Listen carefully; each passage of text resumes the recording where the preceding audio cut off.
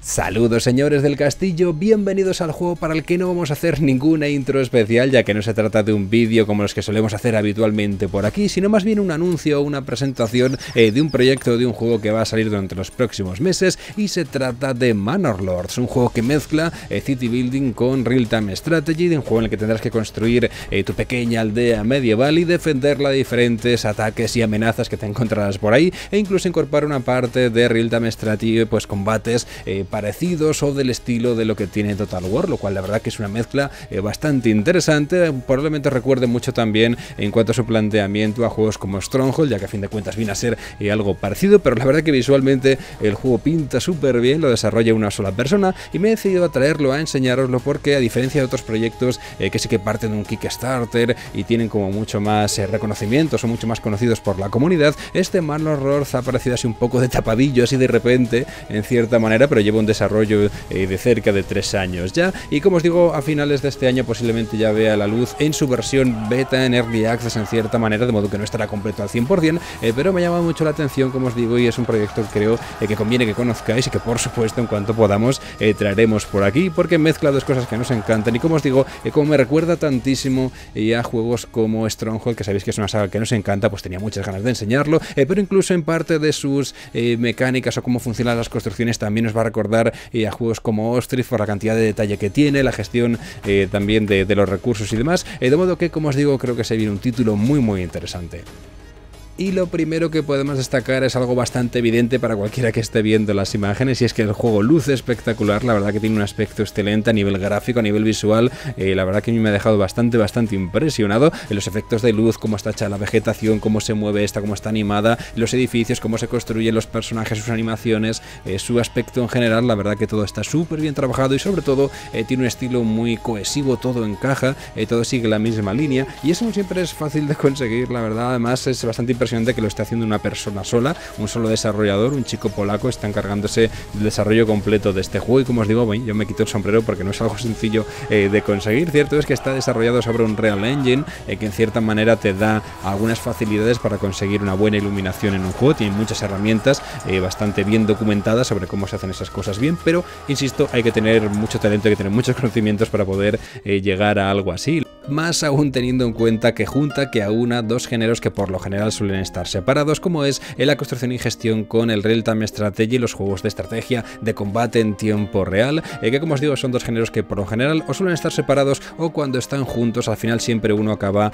eh, ganando más protagonismo o, tiene o se ha puesto más cuidado en desarrollar esa parte que en la otra, eh, por ejemplo, incluso en juegos clásicos como la saga Caesar, la parte de combate siempre estaba un poco más coja, mientras que la parte de construir y gestionar tu ciudad pues tenía mucho más peso y en otros juegos como la saga Stronghold, eh, por lo general, salvo en el 2, que era una mezcla un poco extraña, eh, la parte de combate tenía más protagonismo, estaba más trabajada, la parte de defender eh, tu castillo y asaltar el castillo enemigo, pues estaba más, tenía más protagonismo, más peso dentro del gameplay que lo que es la gestión de tu propio asentamiento, que era como muy, muy sencillita. Veremos en qué nivel, en qué punto se queda este juego en cuanto a las dos vertientes, porque como os digo, no es nada sencillo mezclar estos dos géneros, a pesar de que puede ser como muy obvio, ¿no? Que tienen que ir juntos o que puede pueden ir juntos, más aún en una temática medieval como es este, como es en este caso, eh, pues encajaría perfectamente, pero eh, como os digo, no siempre es fácil, así que veremos, es quizás eh, un posible talón de Aquiles que puede tener este juego, cómo consiga equilibrar esas dos partes, y yo estoy expectante a ver cuánto van, cuándo van proporcionando más datos, no más información al respecto de, esa vertiente del juego, pero es cierto que a nivel de combate la verdad que se ha visto bastante interesante, sobre todo porque incorpora esas mecánicas de batallones, vamos a llamarlo, al estilo Total War en el que tú mueves eh, pues conjuntos de unidades, que si es la unidad de infantería, arqueros por aquí y por allá, eh, que permite bueno, pues desarrollar estrategias de una manera pues un poco más em, sencilla, más realista, más orgánica, incluso que eh, agruparlos tú en conjuntos y luego tener el típico 1, 2 y 3, mandarlos por allí, que se coloquen un poco en formaciones un tanto ortopédicas, pero el poder tener un control más próximo a lo que es un Total War, la verdad que le puede dar eh, mucho, mucho juego. Cierto es que en las imágenes que hemos podido comprobar y que estaréis viendo eh, en pantalla, en los combates, pues cierto, es muy cierto, es evidente eh, que no tienen el mismo nivel de detalle o la misma coreografía que sí que tienen un Total War, pero incluso aunque no sean perfectas, las batallas, aunque a nivel de coreografía pues no veamos pues esos bailes, esos espadazos y esas cabezas rodando, por supuesto, después de pagar el correspondiente DLC que podemos ver en los Total War, pues veremos en este cómo quedan, pero aún así, aunque sea más o menos sencillo, yo voy a estar conforme, sobre todo pues por ver, en fin, un juego medieval por fin, ¿no? Que incluye ese tipo de, de cosas. Y centrándonos exclusivamente en la parte de City Building, hemos podido ver una serie de detalles o características súper interesantes que creo que pueden hacer de este juego uno muy entretenido, uno muy satisfactorio de jugar, al menos en la parte de, construcción. Y es que todo está orientado a intentar conseguir un entorno, un poblado eh, lo más orgánico, lo más creíble y realista posible, eh, ya que por supuesto no solamente basta con tener una estética eh, fotorrealista bien integrada, sino que también las mecánicas, el propio gameplay tiene que colaborar para que eso se consiga, ya que si esto estuviera construido en una especie de cuadrícula todo en paralelo, pues posiblemente resultaría un tanto extraño, ¿no? Se rompería un poco esa, esa ilusión visual que se pretende crear, ya que como os digo, tanto gameplay como parte artística tienen, ir, tienen que ir unidas para conseguir un objetivo de ese estilo, y el juego incorpora pues herramientas como una construcción de carreteras eh, por nodos eh, o por tramos, un poco al estilo como la que utiliza Cities Skylines, aunque ya juegos anteriores eh, ya implementaban ese tipo de manera de construir las carreteras, y luego los edificios los vas colocando atacheados o enganchados a dichas carreteras, de modo que vas a poder crear pues un pueblecito, la verdad que bastante creíble sin pues tener que andar colocando las cosas al milímetro tampoco, ¿no? Es una aproximación diferente a como por ejemplo lo hace Ostrich, donde tú colocas los edificios pues donde tú estimas oportuno y luego las carreteras aparecen solas, entre comillas, eh, por el propio uso de, los eh, aldeanos que viven en, el pueblo. En este caso, pues tú sí que colocas las carreteras, eh, por las que también es cierto que van a tener que pasar carretas y demás historias, ella que tiene pinta de que va a tener un sistema de comercio, también unas cuantas historias, la verdad que bastante interesantes, y eso nos lleva también a la parte de pues gestión de líneas de producción, porque podemos ver que va a haber cazadores, que tendremos por supuesto recolección de leña, transformar esa leña, el material de construcción utilizable, canteros, por supuesto, no podría ser un juego completo si no se picara piedra, evidentemente. Y bueno, lo que cualquiera cabría esperar, ¿no? que lo que todos esperaríamos de un juego o de las líneas de producción de un juego pues que está ambientado en la Edad Media, eh, picar piedra, cazar, conseguir madera, eh, elaborar diferentes productos, también habrá un mercado. Eh, yo espero que metan también algo de, comercio, sería una manera de poder redondear todo. Incluso hemos podido ver en algunas imágenes sueltas que también se incluyen colmenas, abejas, también habrá miel. Esperemos que se pueda producir pues algo de ale para emborrachar a la población y que sean pues completamente ignorantes de la miseria en la que viven y ese tipo de cosas maravillosas medievales que sabéis que tanto nos gustan. Y hablando del medievo, del periodo histórico en el que se supone eh, que está ambientado el juego,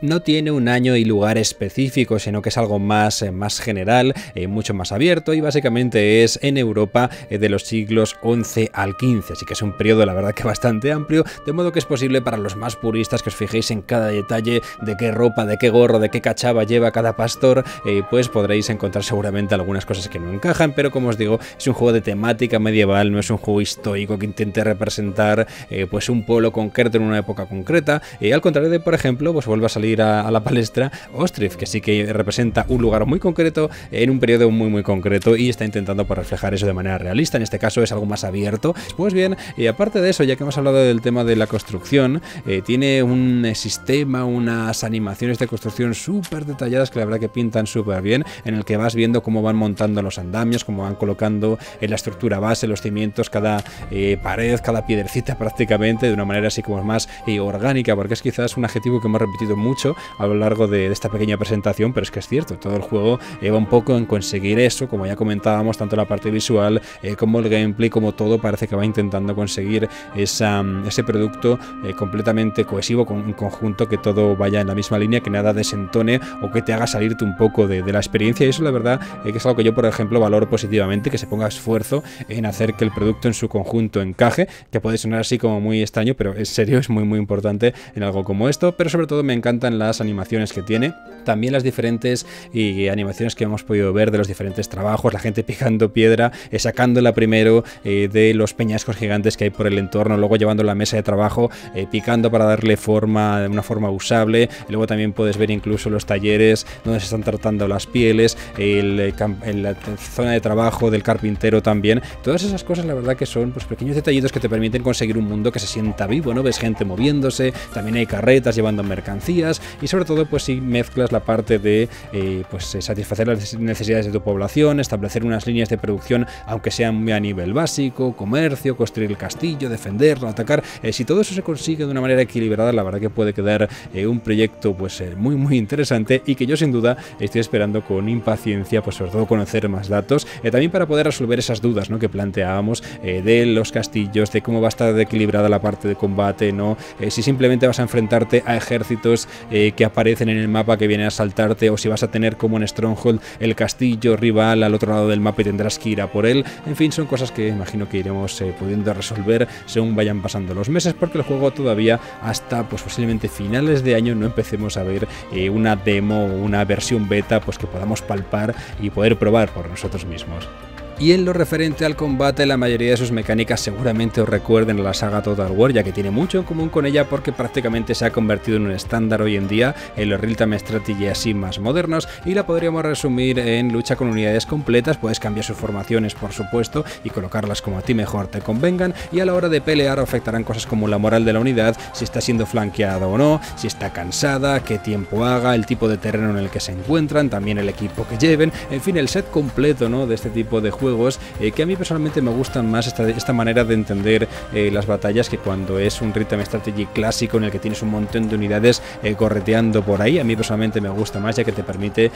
pues personalizar mucho más el combate, cómo quieres hacerlo, cómo quieres llevarlo y por lo general da más flexibilidad a la hora de establecer tus estrategias. Además, ahora mismo pues no hay imágenes disponibles porque aún no está implementado, pero hay planes de incluir cosas como la caballería, fortificaciones, poder subir unidades a las murallas e incluso e incluir armas de asedio, algunas de ellas con pólvora. Habrá que ver, como os digo, de momento no hay eh, ni tan siquiera imágenes de todo eso. Entiendo que es un poco eh, la lista de los deseos, la carta a los Reyes Magos eh, del desarrollador, pero la verdad que sería genial que se pudieran incluir cosas así. porque un juego de este estilo, si no tiene esa parte de construir y defender una fortificación, la verdad que perdería parte de su encanto. sería una auténtica pena que no incluyera algo así. Y ahora mismo, pues como os digo, no está implementado, no hay ni tan siquiera imágenes disponibles de todo eso. Y en resumen, todo esto es lo que conocemos actualmente de Manor Lords, un juego que saldrá durante el próximo otoño en teoría en Early Access. La verdad que tengo muchas ganas de poderlo probar, de poderlo jugar y de traerlo por aquí para que podamos ver qué tal encajan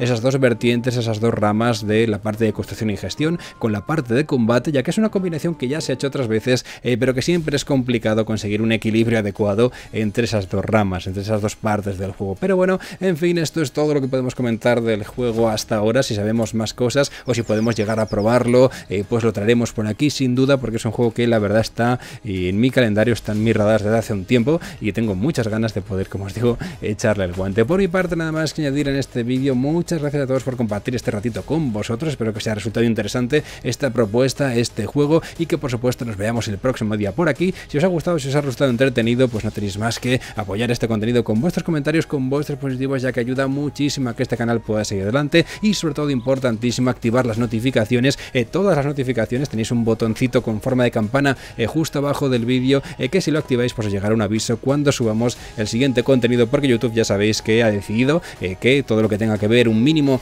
con guerra pues es malísimo y no debéis verlo porque si no os volveréis locos posiblemente y cometeréis alguna barbaridad supongo, no lo sé. sea como fuere, muchas gracias a todos por estar ahí, también muchas gracias a todos nuestros miembros por apoyar nuestro trabajo desde aquí, muchas gracias a todos y si tú también quieres convertirte en un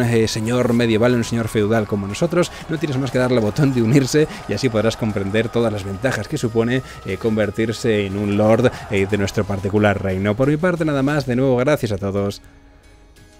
y hasta pronto.